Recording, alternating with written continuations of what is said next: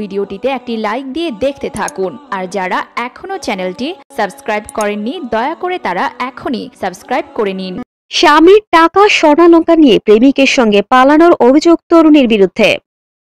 ব্যবসায়ী স্বামী আলামের মৃধার টাকা ও স্বর্ণালঙ্কা নিয়ে প্রেমিক অলিউল্লাহ গাজীর হাত ধরে স্ত্রী রুমা আক্তার পালিয়ে গেছেন বলে অভিযোগ উঠেছে।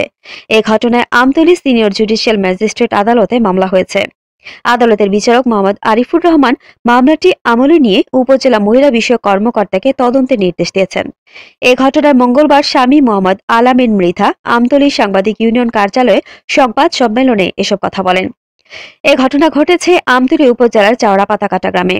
জানা গেছে দু হাজার পনেরো সালে আমতলী উপজেলার চাওড়া পাতাকাটা গ্রামের আব্দুল খালেক মৃধার প্রবাসী ছেলে আলামিন মৃধার সঙ্গে তালতলী উপজেলার পচাকড়ালিয়া ইউনিয়নের চান্দখালী গ্রামের রিপন মৃধার কন্যা রুমা বেগমের বিয়ে হয়।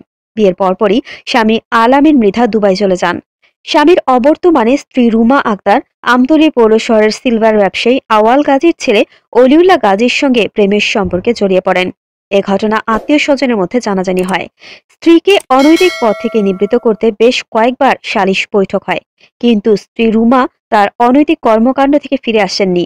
দু হাজার আঠারো সালে আলামের মৃধা দেশে ফিরে আসেন। দেশে এসে ব্যবসা শুরু করেন।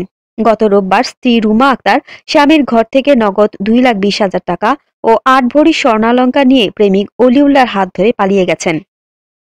এ বিষয়ে স্ত্রী রুমা আক্তার মোবাইল ফোনে টাকা ও স্বর্ণালঙ্কা নেওয়ার কথা অস্বীকার করে বলেন, আলামের নামে আমি কাউকে চিনি না, আমার সঙ্গে তার কোনো সম্পর্ক নেই।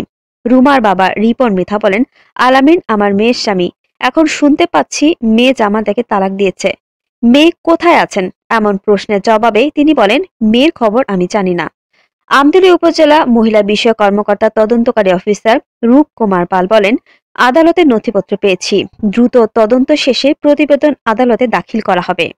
এরকম আরও অনেক ভিডিও পেতে নিউজ এক্সপোজার টিভির সাথেই থাকুন, চ্যানেলটি সাবস্ক্রাইব করুন এবং সাথে বেল আইকনটি বাজিয়ে দিন।